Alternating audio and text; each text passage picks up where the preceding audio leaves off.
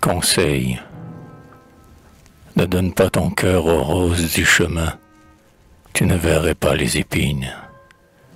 Ne donne pas ton cœur aux fraîches églantines, vers qui déjà tu tends la main.